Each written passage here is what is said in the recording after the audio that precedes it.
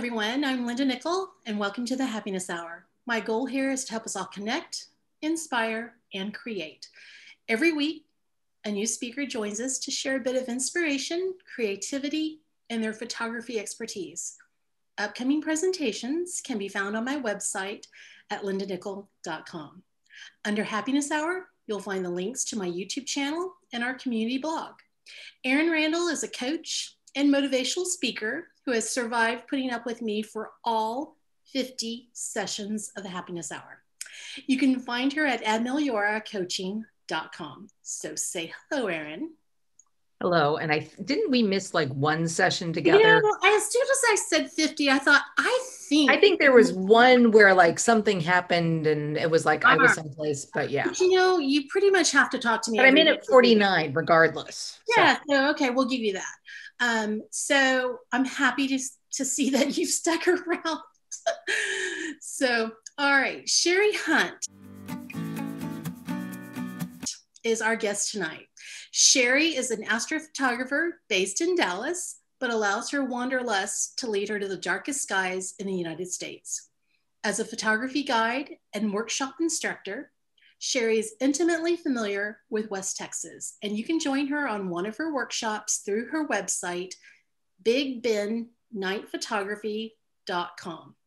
Shari was here last summer, and her class, Milky Way Hunting for Beginners, can be found on the YouTube channel. And in tonight's presentation, Creating Star Trails, Shari will teach you how to make star trails with one image or by stacking multiple images in post processing. She will discuss cameras and intervalometer settings, the effect of different lenses and focal lengths, and post-processing using Lightroom and Photoshop. So welcome back, Shari. Thank you. Thanks. Okay.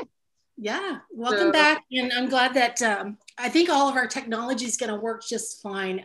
We both have had some weird stuff going on the last, I don't know, 24 hours. So yeah. if if it doesn't, y'all just hang tight and we'll, we'll come back.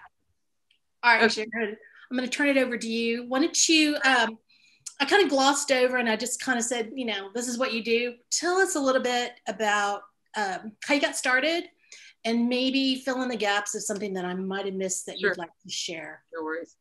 Um, so I am in Dallas now. Um, I moved, I grew up in Texas actually, went to A&M and left Texas as soon as I graduated from college and I moved up to the Pacific Northwest.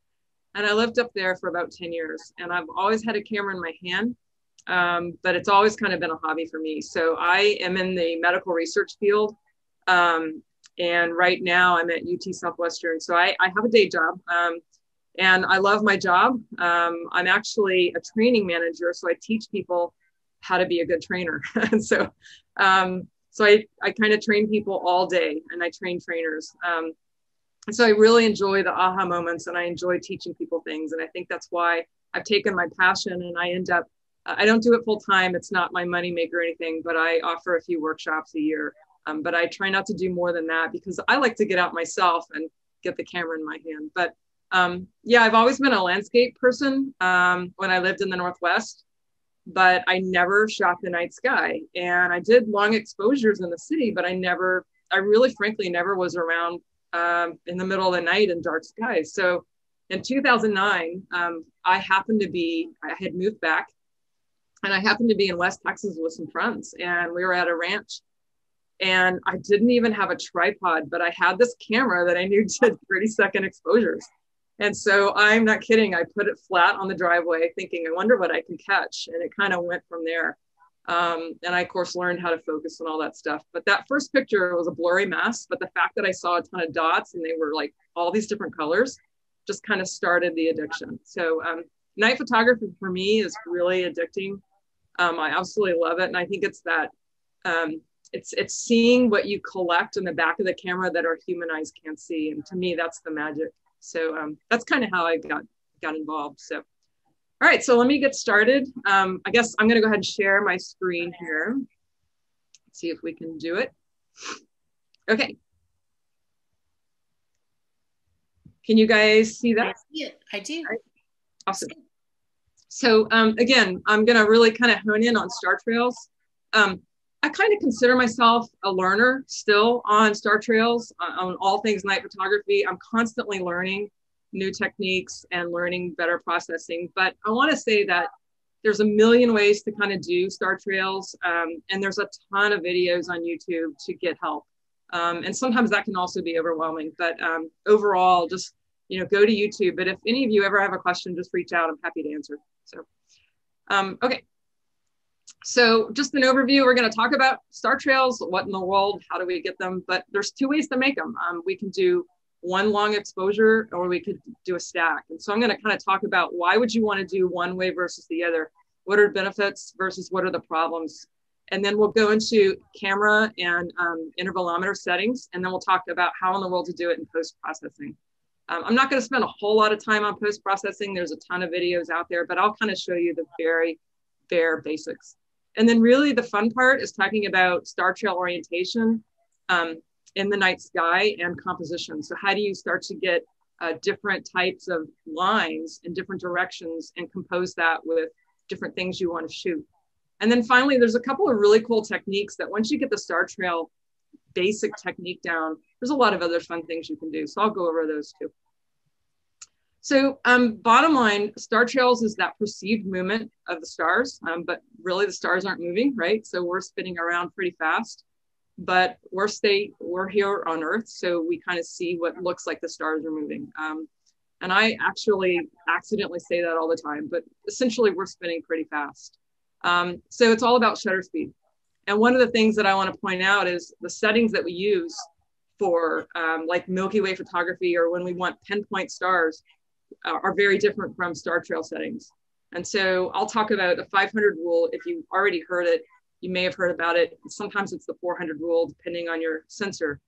Um, but essentially, if you want to get pinpoint stars, you're worried about going too long on shutter speed because then the stars start to drag. So in star trails, we can kind of throw that rule out the window because we want the drag, right? So we want to have those really long lines from the stars. And so um, shutter speed can be anything from, you know, five seconds to hours um, or 30 seconds and, or minutes or hours. So we'll talk a little bit about that today. Um, so the camera settings are a lot different. And the other thing is there's really no set magical setting that I can give anybody. Um, it really depends on what kind of skies you're in. If you're in really, really dark skies versus skies that have light pollution or a lot of ambient light, your settings are going to be much different. So we'll talk a little bit about how to figure that out um, but it's not like a magic recipe I can usually give you. So, okay. So the equipment you need, um, a camera, a tripod, um, basically your shutter trigger. Uh, some people will have a remote or a trigger um, or an intervalometer, and that's usually what I use, and a lot of patience, um, a lot of patience. But I wanna really hone in on that sturdy tripod part. Um, this is a great example of a tripod that got bumped. so this is me at Mount Rainier and if you can see on the mountain here, if you've ever shot Mount Rainier, it's just amazing because you can watch in the summertime the hikers ascend the mountain. And so this is early in the evening when they're ascending. And so I can kind of get a little bit of that light. But I was trying to get the star trails of the hikers, the stars and the hikers. And um, sure enough, if you bump your tripod, this is what's going to happen. So a sturdy tripod's really good, especially also if it's pretty windy.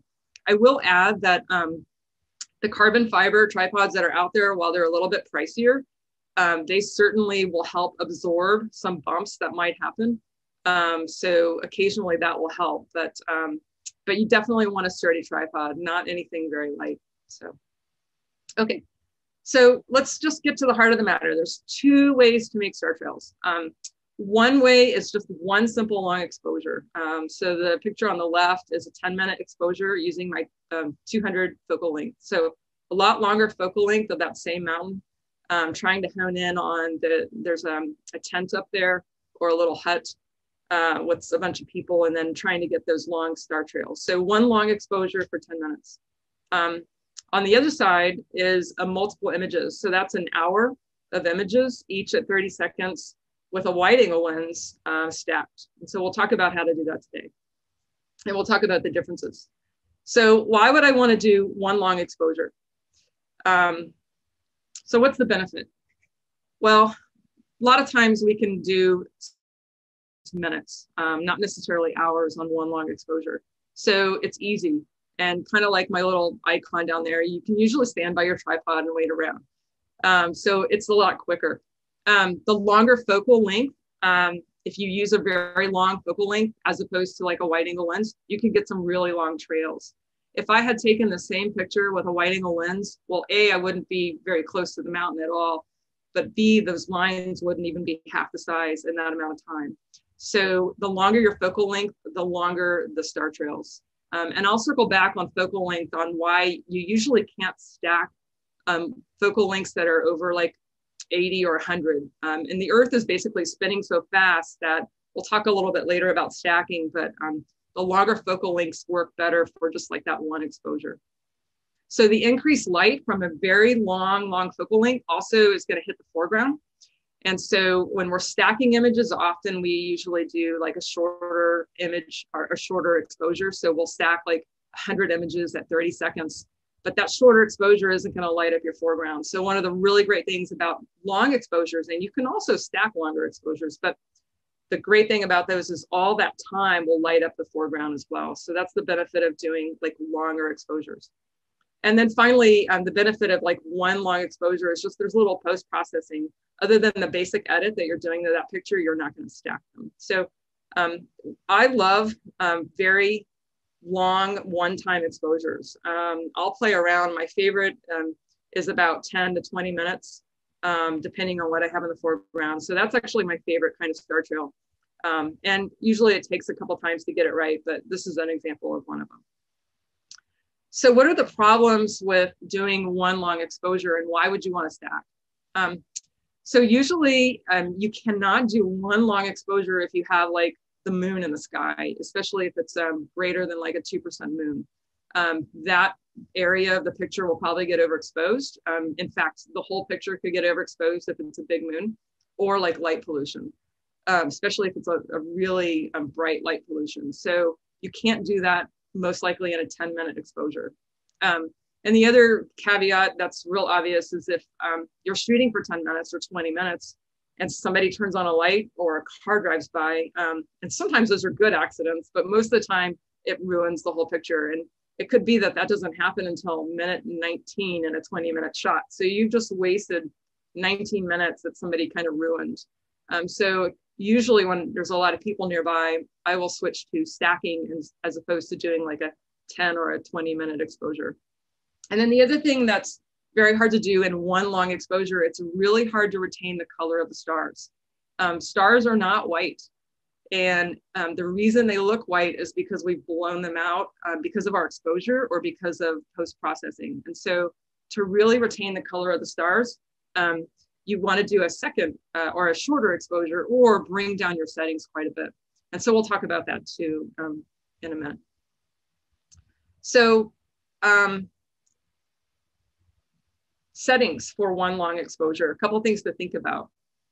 Um, when you're doing settings, you basically want to expose for the current scene. And again, there's not a perfect um, exposure uh, setting that I can give you. It really depends on the ambient light, um, depends on um, light pollution that might be nearby.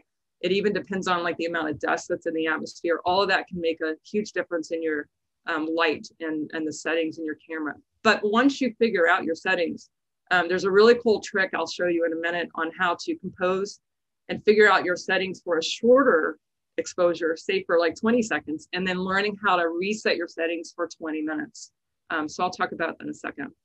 But basically during your one long exposure is compose your settings and then put your camera on bulb with a trigger or use an intervalometer. And we'll talk about the intervalometer settings in a minute. The other thing I tell people is if you're doing just one long exposure, you can turn on long exposure noise reduction on your camera, um, especially if you're in a really um, hot or warm environment. Um, all that heat hitting, working the sensor will also cause a lot of noise. And so turning that on is a benefit to reduce the noise. However, if you are doing like a 10 minute exposure or a 20 minute exposure, what long exposure noise reduction will do is it basically takes the same picture, the same amount of time with the shutter closed.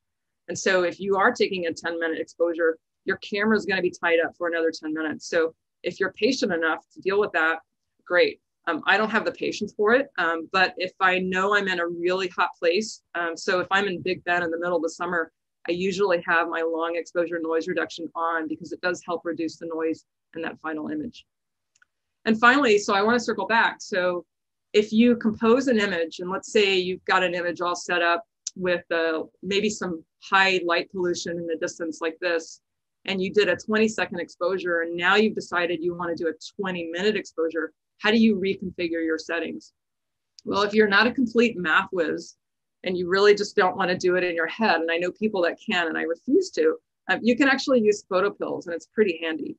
So PhotoPills, if you don't know, is an app. It does cost, um, I think, 10 bucks still, but I use PhotoPills for almost every single thing I do when I'm planning um, night shots. But ultimately, there's a part of the app called exposure. And if you get to that exposure part of the app, all you do, it's so simple, is you can put in your test settings. So when you set up your test shot, you've got your aperture and your time and your ISO. So you set them in. And then in the third column there, just set your calculate to aperture.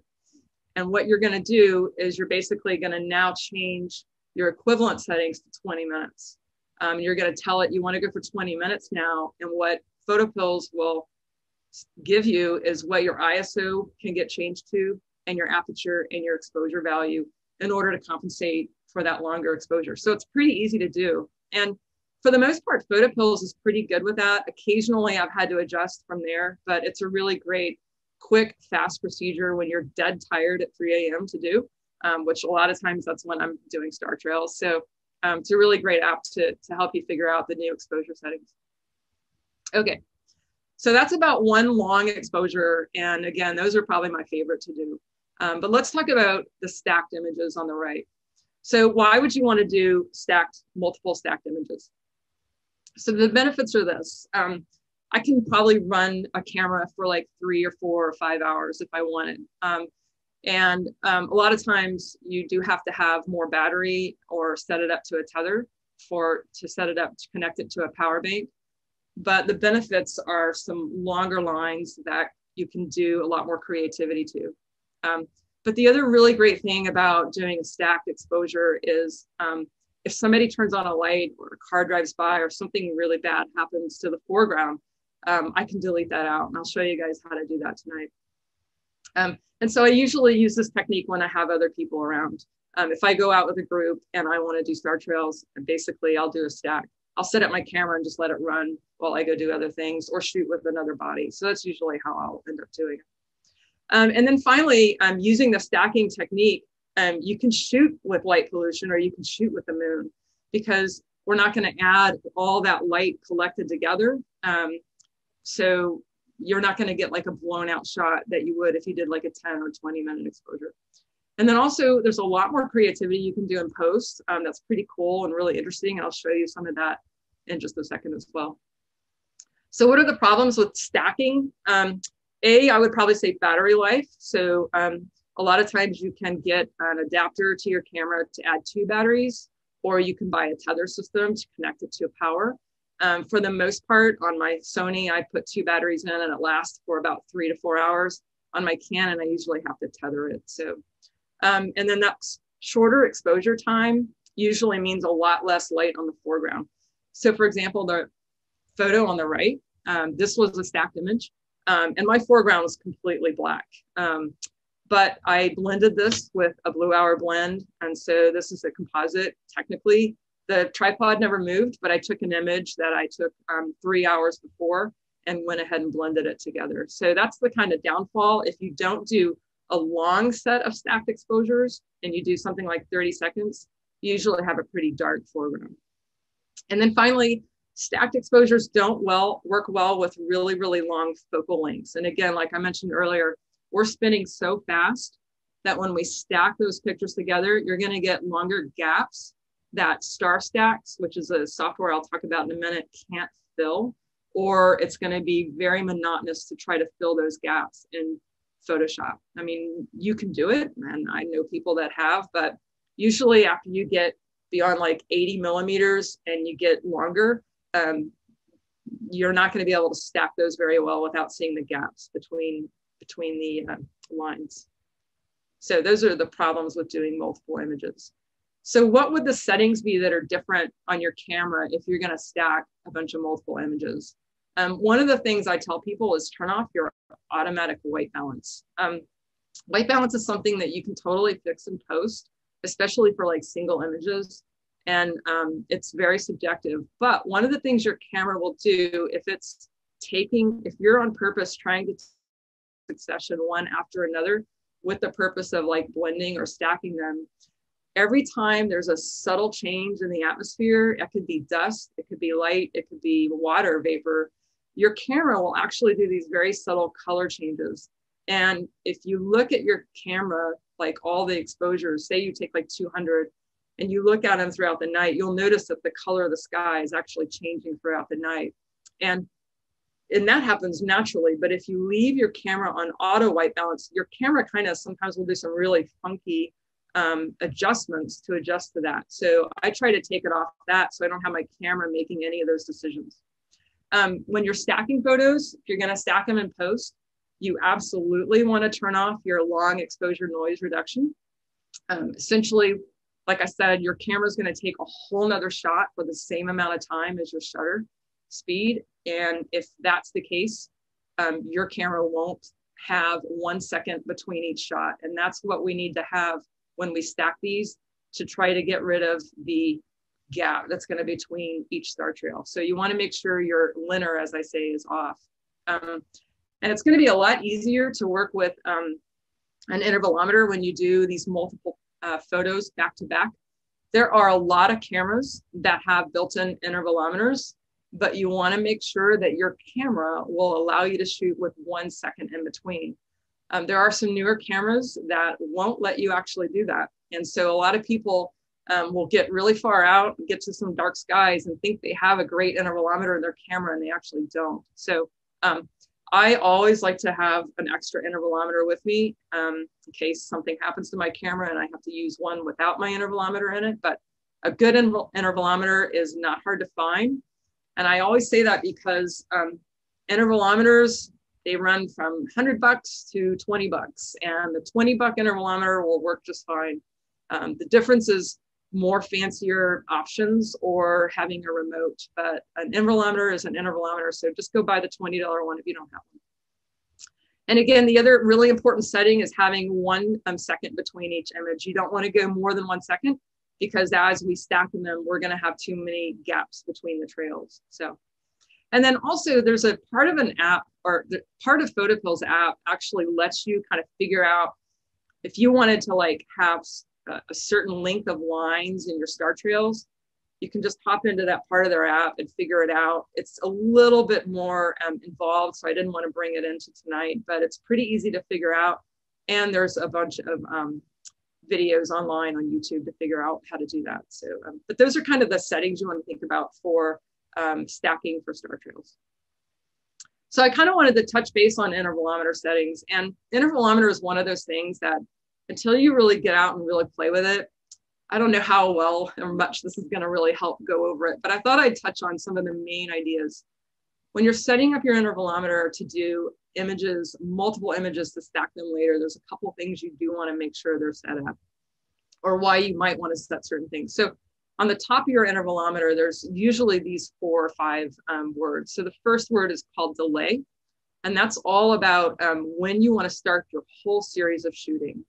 And it's really helpful if you want to like fall asleep and let your camera just start two hours into the night. And the reasons I would do that, um, a lot of times the peak hour for our meteor showers is when I want to be sleeping. So I can actually delay my intervalometer to not start until like 4 a.m. Um, so that's a good reason. And also if you're waiting for the moon. So um, a lot of times I'll set up my camera to run for a period where I'm just totally not even awake. And so that's the benefit of also doing the star stacks is I don't need to really be right by my camera. I'll just let it run. So that's what delay is for. It's going to delay the start of your entire series of exposures. Long basically means that if you're going to like do one giant long exposure, like a 20 minute exposure, what I do is I'll put my camera in bulb and then on the time, I just set the time of my exposure. So I'll set it for 20 minutes and then I'll let it run. Um, and I can set that up to do multiple exposures, and I'll show you guys how to do that. But if I'm actually setting up my camera to do like multiple exposures, so like let's say I want to do like 100 exposures at 10 minutes each, um, I do something a little bit different just for simple sake. I actually take my camera off bulb and then I just set up my camera settings on the camera and then I um, basically set the long to zero. I hope that was clear. So basically I make sure it's all off bulb and long is at zero. And then I move over to the next setting, which is intervalometer. And that's where I'm going to set up my intervalometer. And so this is where you tell your intervalometer you want only one second. Sorry, this is for interval, but you want one second between each shot. Um, and so for star stacks, you don't want more than one second. There are a few cameras out there, I've heard of two, that actually will now let you shoot less than one second between each shot. Um, but most of the time, most intervalometers will not let you do that. So, um, and the other thing that's a limiting factor is make sure that your memory card is fast enough. Um, occasionally, I have been with people who have a very slow write or read speed. So it's the write speed we're worried about here. Um, and usually like 90, oh shoot, I forget the, I forget the actual words behind it, but usually 90 whatever per second is, is pretty good. But occasionally people will have a really cheap slow memory card and that actually can ruin the intervalometer setting. In other words, your camera won't be able to keep up because its writing um, speed is way too slow. And then finally, N on the intervalometer means the number of shots. So ultimately, if um, if I want to do 100 shots, this is where I put 100. Um, and a lot of times, if you've never used an intervalometer, it will show an infinity symbol or it will show a dash dash, and that means infinity. And so um, I like to keep things simple. So what I end up doing is I just put my interval number in, I put my camera settings on my camera, and my N says infinity. And that's actually the most simple way to set it up. And then all I do is look at my watch. So I either fall asleep and let my batteries run out, or I wake up in an hour, or I just sit back and have a drink of my choice and watch the stars. And that's that's kind of the fun thing about it is just letting it stack away in the camera anyway. Okay. So I want to talk a little bit about star trail orientation. And this is kind of my favorite part um, when we're setting up compositions with star trails. And without not going into a ton of information about stars, but when you're looking north, we've got our circumpolar star, um, which is the star where it appears all the other stars kind of circulate around, and that's Polaris. And again, that's only in the northern hemisphere. So um, if you're in the southern hemisphere, you actually won't be able to see Polaris. You actually will have another star that's circumpolar. But for us, we've got, or at least I think most people are probably in the northern hemisphere on this call, but most people um, will see the Polaris and it looks like all the stars kind of dance around Polaris.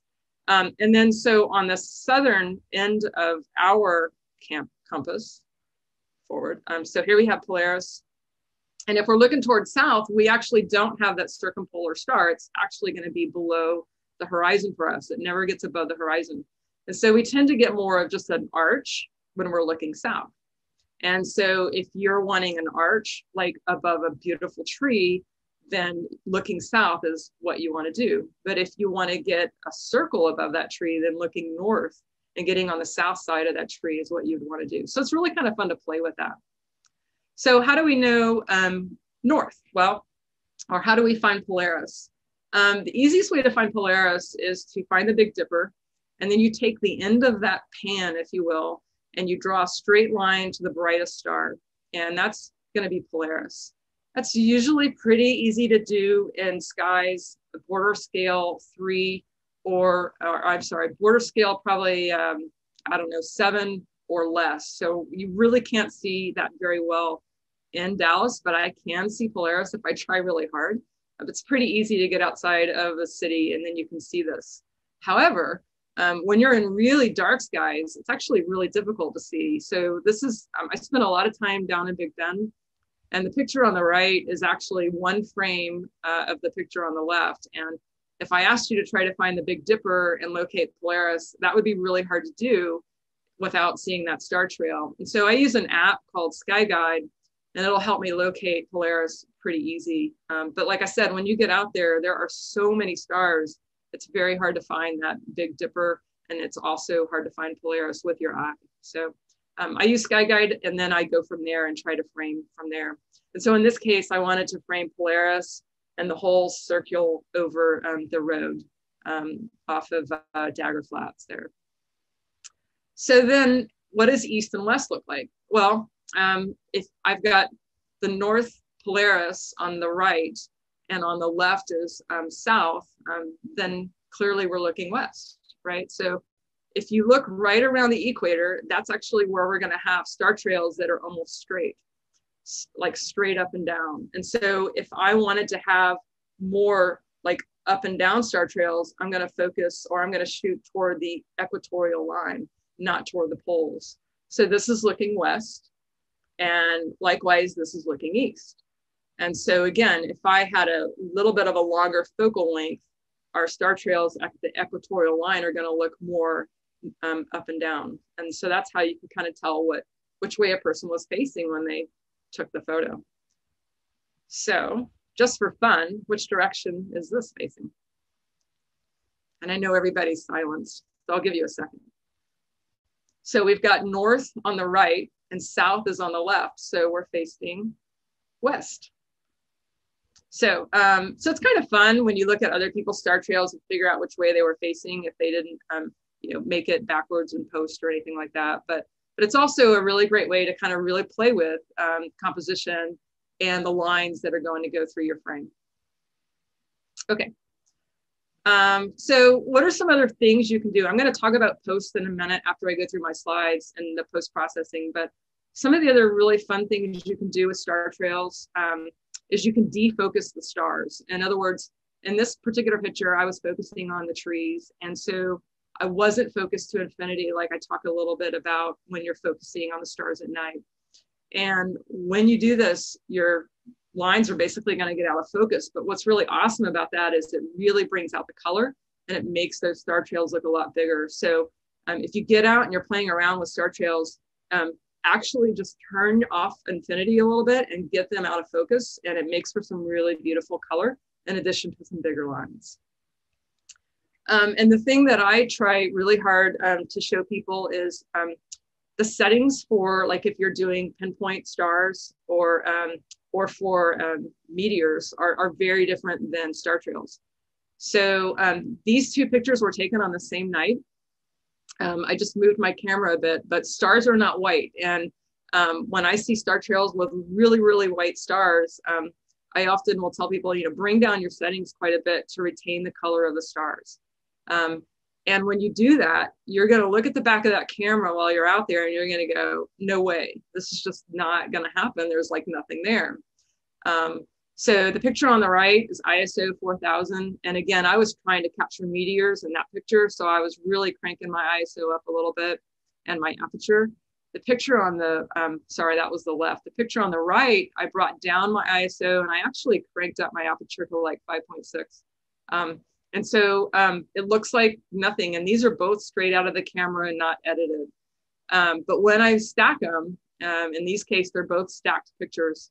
Um, you can really see the color in the stars on the right, as opposed to the white, whitish uh, stars on the left. And and again, these aren't um, edited at all. I just stacked them straight, but I want you to be able to see that your camera is really going to try to fool you. And you're going to want to try to up your settings, um, but just trust um, and just you know look at it and post. And after you practice this a couple times you'll learn to trust yourself because as a night photographer you get so used to these really high iso settings that when you're trying to retain the color and the stars you it's very hard to trust that really dark back of the camera. So um, it's one thing you really got to practice with but you get better with time. Okay um, the other really fun thing i like to do is what i call faded ins um, one of my favorite artists is Lincoln Harrison, and he's out of Australia. That might be New Zealand, actually. And he's got um, several techniques. I totally encourage you, if you aren't familiar with him, to check him out. Um, but he is probably the one person that I think makes the most beautiful star trails ever.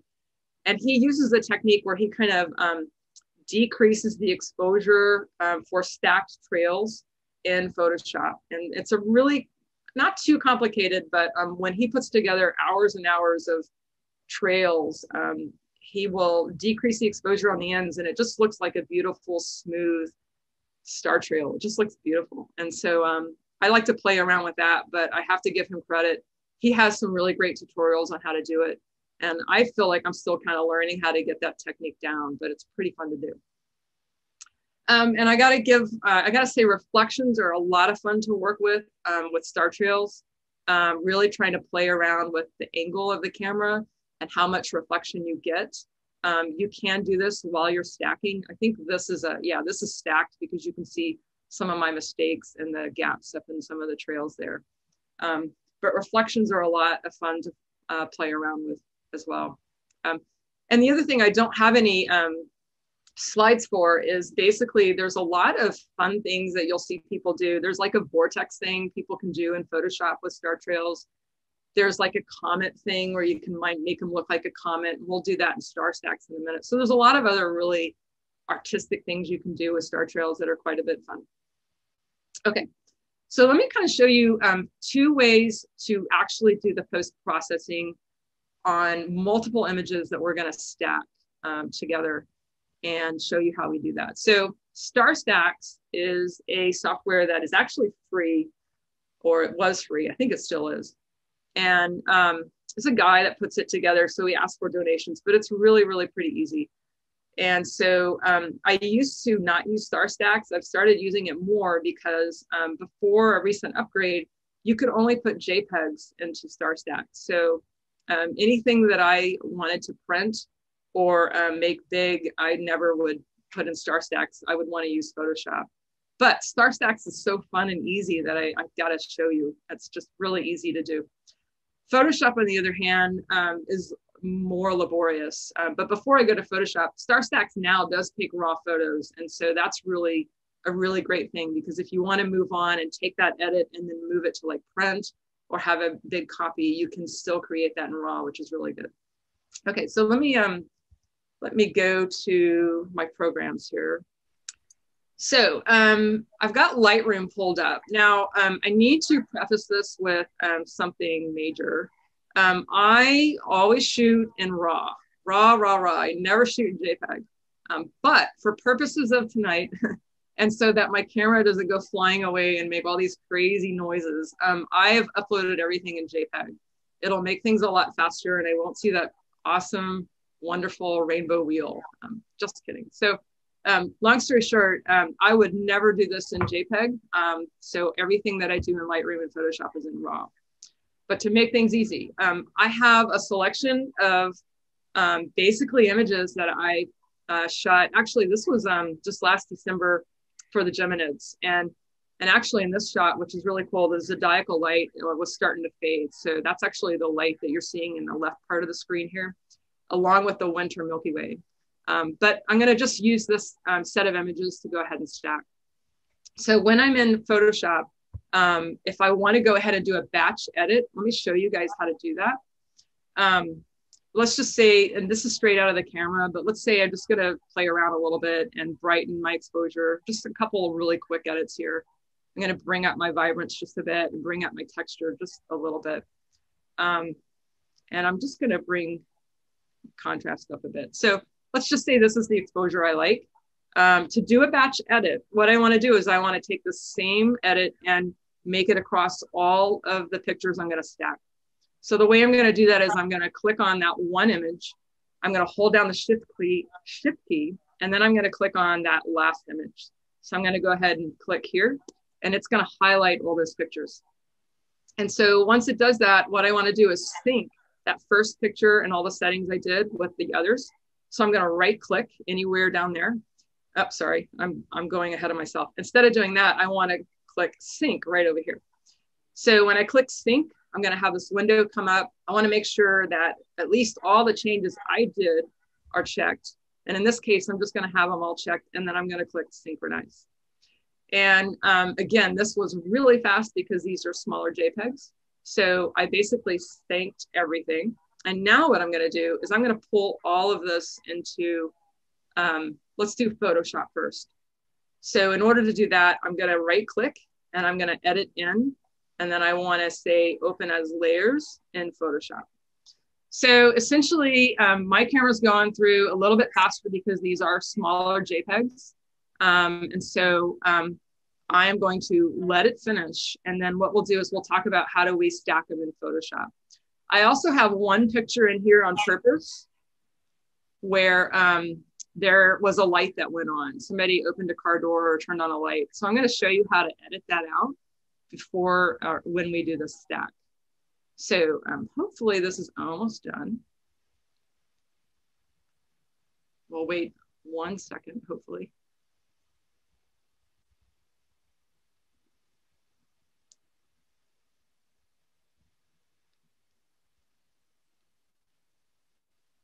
Sorry, you guys. Let's see. Any questions while we wait? I haven't seen any in the uh, chat. I think you're you're good so far. Okay. I think this is almost done. Okay, good. We're done. So um, basically, here's my stack. And um, if you're not familiar with Photoshop layers, I'm not really going to go into a whole lot of detail, but the key was when we opened this in Photoshop, we had to open this in Photoshop as layers. So that's the most important thing. And so you're going to get your um, basically your image with all the layers. And so what we want to do is it's really simple. I'm going to click on the very first picture and then I'm going to scroll all the way down to the bottom layer. I'm going to hold down my shift key and click on the very last picture. And what I'm doing here is I'm highlighting all the pictures. And then I'm going to come up here. This is our blend mode. And I want to go from normal to lighten. And that's it. Um, that is all I need to do for, and what I'm basically doing is if there's any light in the layers below, it's just bringing all that light to the final layer. So it's just kind of letting all the light seep through. Now, um, I noticed that for some reason it didn't bring in my messed up picture. So I have a backup over here. Let me uh, make sure my messed up picture is showing. So I'm gonna do this again. I'm gonna just highlight all these layers again. Set my blend mode to lighten. Oh, good, here's my screw up. Okay, so this is where somebody walked in front of me and turned on a car light or something. So um, what I'm gonna do is I'm gonna create a mask and mask that out. Now, layers and mask in Photoshop is like a whole wonderful world to learn, um, but it can be a little overwhelming. So I wanna try to keep this really, really simple. So what I want to do is I need to find that one layer that has the screw up, right? So the way to do that is I can start at the top and see that little eye icon. I can unclick all my eyes until basically that little one part goes away. And I know, for example, or I know that this is actually my final picture. So long story short, I'm going to put all these back on, but that's how you would find out which picture has the light and you can find out other ways. You can look at Lightroom and figure out which one it is. But um, if I'm trying to look here, I would have to sometimes turn on and off all my eyeballs over there. So it happens to be that it's this picture. So if I unclick this layer and I click it back on, all those go away. But let's say that I really want the star trails. I just want to get rid of the light that went off. So what I'm going to do is I'm going to add a mask. It's really simple all I'm going to do is I'm going to click on that layer and make sure that layer is highlighted. I'm going to come right here and I'm going to click on add a mask. Okay, so there's a rule in Photoshop when we work with brushes. And the rule is basically uh, white reveals and black conceals.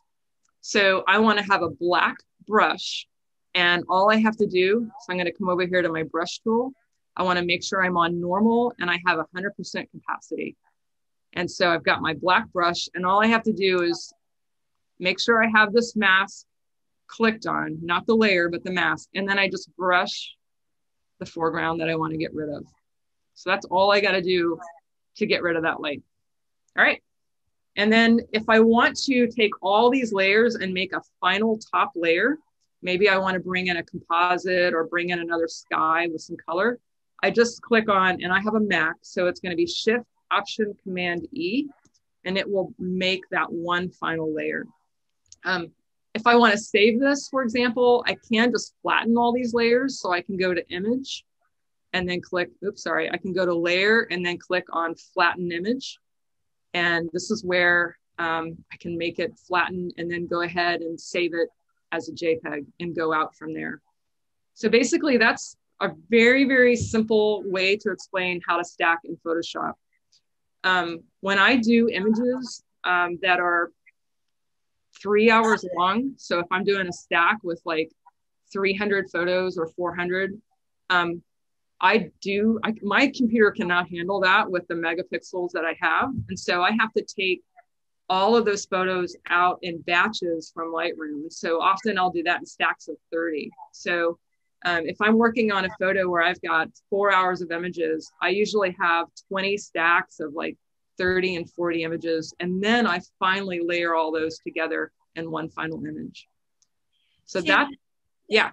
Um, I think we have the answer, but let me ask the question. So if someone else is watching this on YouTube, you know, it, it can be answered. Um, Angie wanted to know, would that method work if an airplane flew through the sky and you wanted to get rid of it? Yeah, actually it would. Um, it's pretty easy to do. And the other thing you could do is you could take that particular image in Lightroom before you stack it and remove the airplanes. But um, you can use that method to remove the airplane lines um, once you have it stacked as well. Great. It's a good question. Okay, uh, let me show you guys how I would do StarStax. Um, so Photoshop can get very involved. Um, I prefer Photoshop because I usually do a whole lot more editing after I stack my photos. Um, so I tend to go to Photoshop quite a bit more than StarStax. But let me show you how I would do StarStax. So for Lightroom, what I'm going to do is I've got this whole series of images. So instead of pulling them into um, Photoshop, I'm going to go ahead and highlight them again. So I'm going to click on my first image. All right. And then I'm going to scroll all the way to the end, hold down my shift key, click on my last image. And then what I'm going to do is I need to save all these photos in a file. So um, I'm going to go to export. And like I said, you can save as a JPEG or you can save in RAW. So StarStax will now work with RAW. And so um, I usually put mine in a subfolder. I'll call it something that I'll know I can work with. And if I want to just look at a real quick JPEG to make it a lot quicker, sometimes I will go down and change to JPEG settings. But if I'm keeping it raw, I won't touch anything else because I want those raw photos to go to that same file. So I'm not going to do this now because it might take a little bit of time. But what I'm going to do is go ahead and open up StarStax and show them, show you how to go from that file into StarStax. See if this works. I'm basically selecting all of my pictures in my folder and I'm going to drop them right here into StarStax. So you guys saw that, right? Yeah. So now they just literally all dropped in. So all I have to do is I'm going to come over here to preferences and I talked about gap filling earlier. So I want to make sure I go to blending mode and I want to make sure that gap filling is selected. And this is where StarStax is going to try to do the best job it can to basically put um, th- those gaps between all your star trails. It's going to basically try to fill them a little bit. So for right now, I'm not going to check anything else. I'm just going to kind of go through the basics here. But I'm going to come over here and you're going to find this button that looks like a bunch of file folders stacked. Um, says starts processing. So I'm going to go ahead and just click this. And this is the fun part. it's kind of fun just to watch it work. So it'll stack them together. Okay, so let me ask you a quick question while it's doing that. Yeah. Uh, Valerie wanted to know uh, for raw images to star stack starting in Lightroom, you're not doing any editing on the images first. Is that correct? Yeah, that, that's a great question. So sometimes I will do a little editing in Lightroom. Um, so I will play with exposure and I will play with temperature. But what I won't play with is I usually won't play with the lens correction setting or um, any of the settings that have to do with the lens. Because a lot of times, if you stack those later, it causes what's called moire, which is kind of a oh, it's a weird, funky looking thing that'll show up on your screen. So I try to deal with that later. But yeah, I will actually do basic global edits in Lightroom, and then I'll do more local edits after I stack them. So I basically clicked on that stack button. This is what we get. Um, and again, this doesn't look all that great because there's a lot of JPEG artifacts in here um, since this is a JPEG and it was actually a pretty small file because I wanted it to not um, take my computer away. Uh, but essentially this is it. So if I wanted to like get a little bit closer, I can click the plus sign here. Um, I can click the minus sign to scroll out. Um, there are a couple other fun things. If I come over here to preferences, I can click like comet mode and I can run this again. So I'm gonna just basically come over here and click the stack again. And it kind of does that really fun little comet look. Um, some people like that. I'm not a huge fan, but it's fun to play with if you've gotten this for the first time. You can change um, the length of the comet mode, long trails versus short trails. And you can kind of get in here and play around with some of these options. But those are the basics to just getting StarStax to stack. So when I'm done with it, all I come over here is I click on the save. And when StarStax wants to save something, it'll immediately put StarStax in front of it. Um, so it, it won't, it will retitle, which is a good thing. And then I'll go ahead and save it. And then I can actually pull that right back up into Lightroom and do some post processing after StarStax is done, or pull it into Photoshop to do more intense edits. So that's StarStax. Um, and, and that's really it. Um, unless anybody has any questions while I have these screens up. Is that a ta-da and you're done? Yeah, sorry, no, no big giant thing. Um, hopefully that was helpful to kind of get people started. I mean, I think star trails are like a lot of fun to do, but I think a lot of times when people are new to night photography, they're so enamored into capturing like all these other things, like the Milky Way, that um, they forget to do star trails, or it's hard to be patient when you're dead tired at the end of the night. You just want to go to sleep. So I think if I can encourage people to set up your camera and let it run, that's when you can go to sleep and you can stack all those later. That's always fun to do. You know, I, I, I hate to admit this, but I kind of like star trails a little bit more than uh, the Milky Way. So oh. That's I know that's that's probably a terrible thing to say out loud, but I, I I think it's the colors and the the movement just it's i don't know it's just a little bit more appealing to my eye. I know that the milky way is is the thing that we you know all aim for but the star trails are just beautiful. And unfortunately i don't have any good ones so i i need to get my tail end out there and, and try. So um do you want to close with any final words any tips that uh, i mean you've given us a lot of information. Is there a takeaway that you're like oh don't forget this just you know put it in your bag or something yeah. that you just want to close with? You know um, there's just so much out there to learn from. Um, i don't profess to be an expert at all on star trails. I'm still learning a lot of stuff.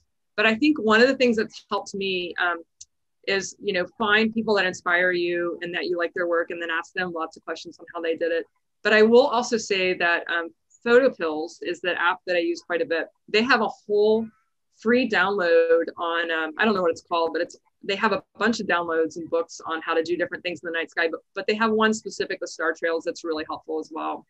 Um, so PhotoPills, and then just looking for the people that inspire you. I mean, I mentioned Lincoln Harrison, and um, his work is just phenomenal. So um, if you have a chance, get out and check him out. But um, but no, I mean, good luck and reach out to me for any questions. I'm happy to help anybody with any questions. Absolutely. There is one question that snuck in as we're closing.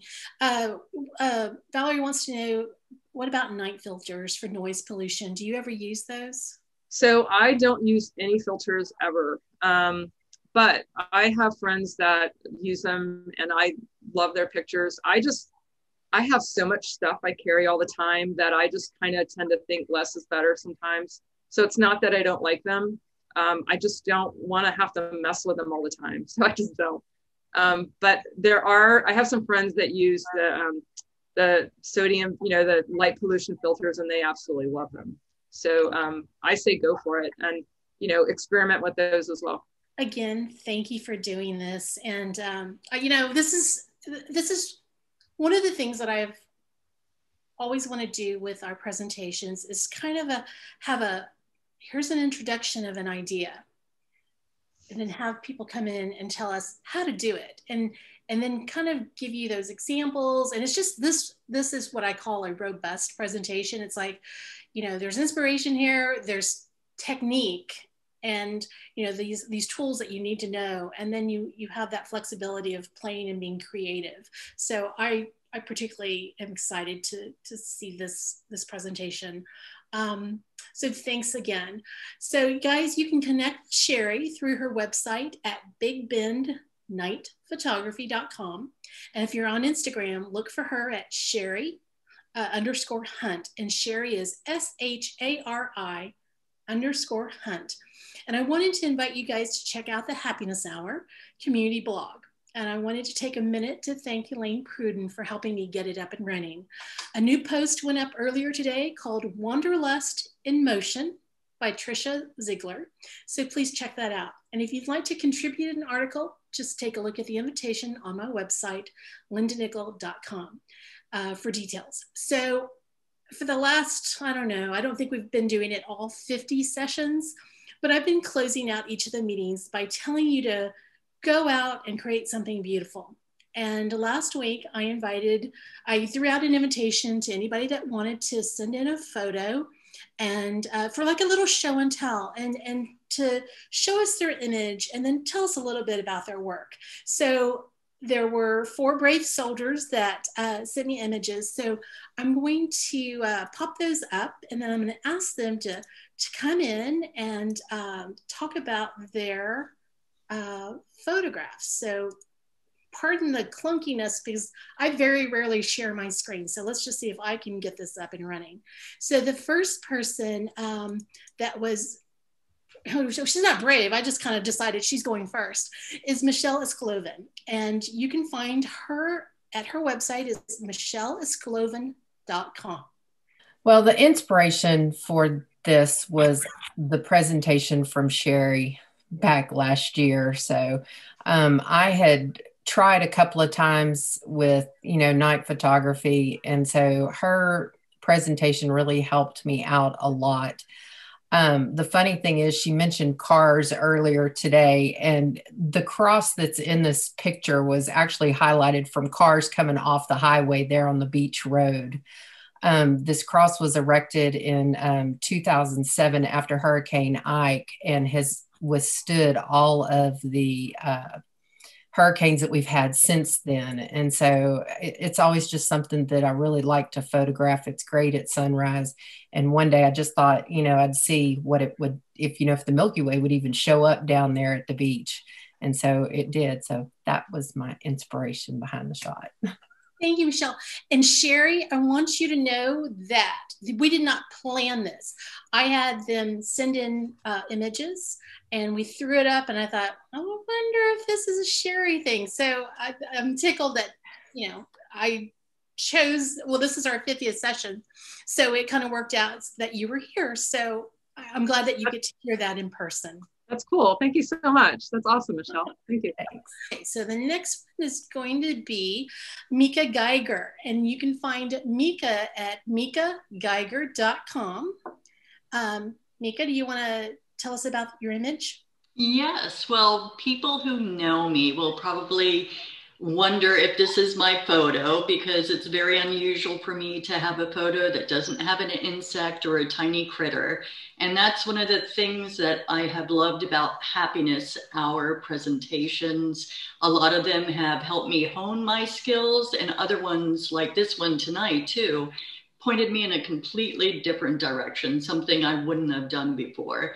And there are a number of actually presenters who came into my mind as I was photographing this. This was during that ice storm that we had recently in Texas that shut down um, the state for like six days.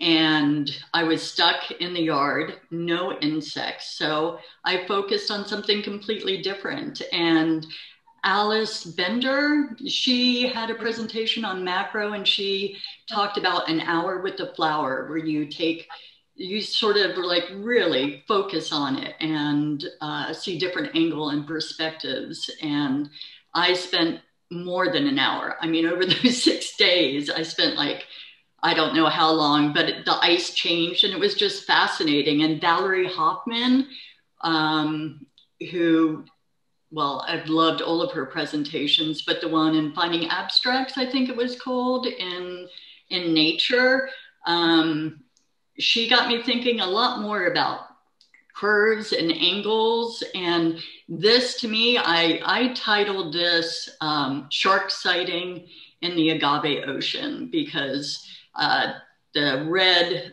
thorn, I guess you would call it, looks like a fin. And the rest just looks like an ocean. Um, and I used actually uh, close-up lens kit uh, that I learned about from Jose Madrigal during his incredible macro um, presentation because I knew I could get the details that I wanted using that. Um, and yeah, I mean, there are so many others. I've been, I've learned something from everybody, even, well, John Fisher too, with the editing that I used in this to bring out the hues. Um, so yes, thank you to everybody for everything I've learned and having uh, great, I don't know, educational and social fun doing this. That's that's awesome. Thank you so much. Okay, so I believe Julie is up. Hi. Hi, Julie. I, I, usually don't take pictures like this. Usually, um, I, I, do like travel and landscape pictures. But, anyways, this was inspired by uh, Carolyn Watson with her um, that class that she did, My Still Life Story. Right. And uh, to look at this, it looks so simple to do, but it, it took me an hour and a half just to arrange this and get the right angle. But um, I, I'm I think it came out cute. I think it's really cute, and I know that you'd said that this was your you're you're preparing for Easter. Yeah. And I thought, you know, when I saw you do this, I, I mean, when you sent the image, um, I, I immediately went, this is not what she normally does. and that's what was so cool about you submitting that photo because, you know, we all kind of get in that, this is what I do, and I don't really deviate. And whoever it is, whether it's, um, Valerie or Carolyn or any of the other ones that you guys mentioned, it's just a little spark. Try something different. And, you know, if you hate it, delete it and no one has to know about it. But um, I, I, I was particularly excited to, to see this because it's, it's so different. It's, it's, and Carolyn kind of inspired me a little bit too, because. I didn't really have an interest in still life. And um, Stephen Mack was here when he did that just huge, elegant uh, floral a display. And then Carolyn came back and slapped on more ideas. And it, has been kind of fun. I was at my mom's house this weekend and I'm looking around her curios and I'm thinking, I'm going to borrow some of this stuff at some point. But um, thank you for sharing, Julie. And Julie, it's Julie Chapa. And she's got her website is juliechapaphotography.com. And so the last one is um, with Karen Riley of homeplate101.com. And um, Karen, are you there? Yeah. Um, yeah, this is um, this has actually been really amazing for me in a lot of ways. Um, I've tried to do something every week based on whatever the topic was. And so um, the one on the left, the green uh, flower is, it's not even a flower yet. So um, Vala really like one of the things that I've learned from her is to just look at things in a different way and take lots of pictures of the same things from different angles. And so the flower's not even blooming. I was waiting for this. I grew these, they're tiny miniature sunflowers, and I grew them. And then we were going on vacation and I knew I was going to miss the bloom. And I was like, I'm just taking a picture of it anyway.